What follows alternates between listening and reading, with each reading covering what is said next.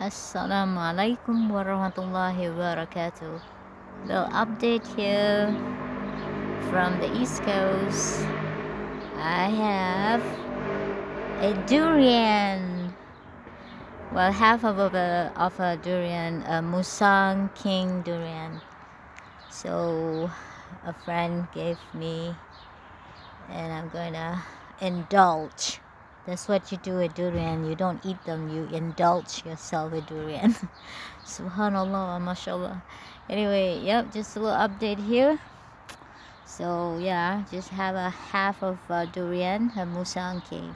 Alright, guys. I'm gonna enjoy this durian. I haven't had durian since, I don't know, like six years ago or something. Five, oh yeah, maybe six, seven years now.